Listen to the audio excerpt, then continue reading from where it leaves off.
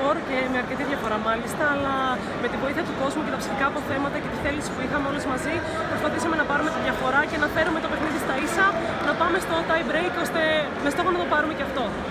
Ο Παγκός πήρε δεύτερη πίσω στο σκορ, πήρε το δεύτερο σε εξαιρετικά εύκολα, το τρίτο ήταν ισορροπημένο και στον τέλος έκανε 9-14 και έκανε μια φοβερή ανατροπή. Ναι, υπήρχαν κάποια συνεχόμενα λάθη και προσπαθούσαμε σιγά σιγά μετά να τα καλύψουμε με κάποια άλλα, άλλες καλές φάσεις που κάναμε εμείς και έτσι φτάσαμε στη νίκη. Σίγουρα η Ρωσία είναι μια πολύ καλή ομάδα, αλλά είμαστε, είμαστε λίγο μπροστά. Θέλουμε να πάμε στη Ρωσία για να κάνουμε το αντίστοιχο, να πάρουμε τη νίκη.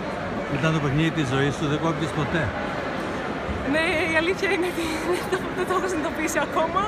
Πιστεύω, μάλλον μπορεί να ήταν το καλύτερο παιχνίδι που έχω κάνει στο Ολυμπιακό. Πώς ένιωθες και πήγες τόσο καλά, Είχες καλή διάθεση, καλή ενέργεια; Ε, νομίζω την ενέργεια την παίρνεις από το ομαδικό κλίμα που υπάρχει και από τον κόσμο που ήρθε σήμερα, γιατί τώρα της σήμερα ήταν κατάμεστο. Η Ρεβάνς; Τη Ρεβάνς θα προετοιμαστούμε κατάλληλα και θα πάμε με, να δώσουμε τους καλύτερους με αυτούς να πάμε να την πάρουμε.